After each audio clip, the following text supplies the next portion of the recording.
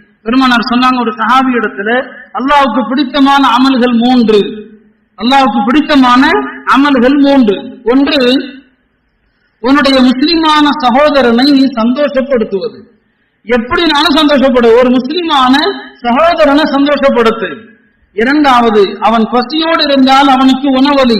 அவன் கடனாளியாக இருந்தால் அவனுடைய கடனை நிறைவேற்று. இந்த ஒரு முஸ்லிமை சந்தோஷப்படுத்துவதுதான் அல்லாவுக்கு மிக பிடித்தமான அமல்.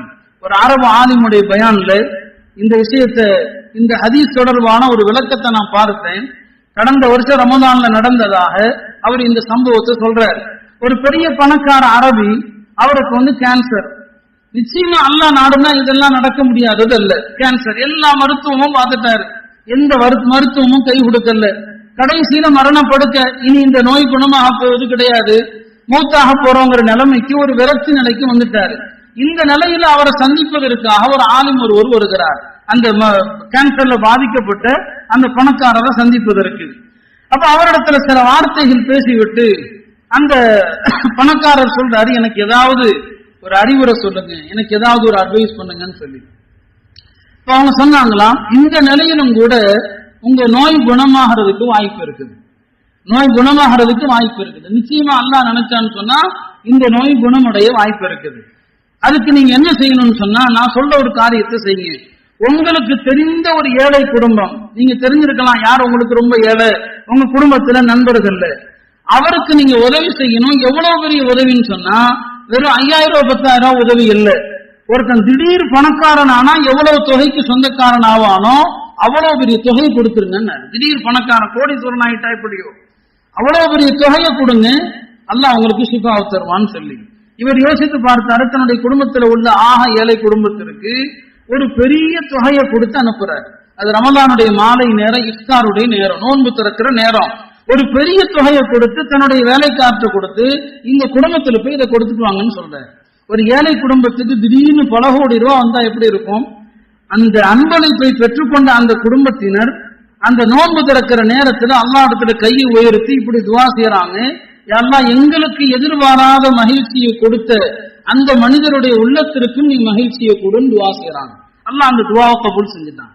அந்த துவா என்னங்க? அல்லாட்ட கபூல் ஆயிடுச்சு. திடீரென்று ஒரு சந்தோஷத்தை ஒரு முஸ்லீமுக்கு கொடுத்தாரு. அல்ல அந்த துவாவை ஏற்றுக்கொண்டா அந்த கேன்சர் வியாதியிலிருந்து அவரும் குணமாகி வெளியே வந்துட்டார். இதுதான் இதுகால சுரூரி அலல் முஸ்லீம். பெருமனார் செல்லல்லா அலிசன் அவர்கள் சொன்னார்கள் ஒரு முஸ்லீமை சந்தோஷப்படுத்துவது மிகச்சிறந்த அமல்.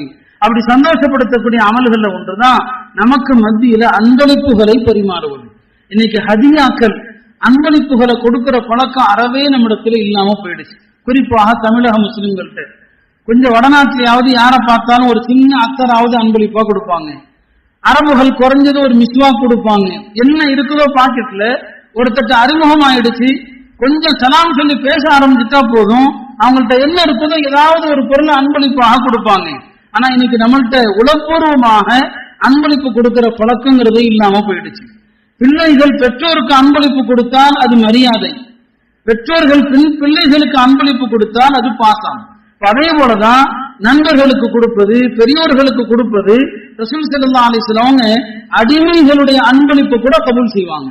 அடிமைகளுடைய அன்பளிப்பு. அவர்கள் சொல்லி காட்டுவார்கள் தஹாதவ் தஹாபு நீங்கள் ஒருவருக்கொருவர் அன்பளிப்பு கொடுத்து பழகங்கள். அது உங்களுக்கு மத்தியிலே மஹப்பத்தை ஏற்படுத்தும். உங்களுக்கு இடையில இணக்கத்தை ஏற்படுத்தும் சொல்லுவாங்க. இன்னும் சொல்ல போனா ரசூல் செல்லா அலிசன் அவர்கள் காபிர்களுடைய அன்பளிப்பையும் ஏற்றிருக்கிறாங்க. முஸ்லிம் அல்லாதவர்களுடைய அன்பளிப்பை ஏற்கலாமா? ஏற்கலாம்.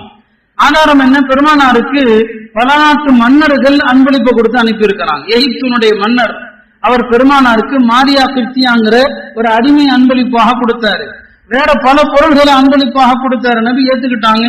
ஒரு யூத பெண் ஒரு ஆட்டு பெருமானாருக்கு அன்பளிப்பாக கொடுத்தாங்க. ரசூல் ஸல்லல்லாஹு அலைஹி அவர்கள் அதை ஏத்துக்கிட்டாங்க.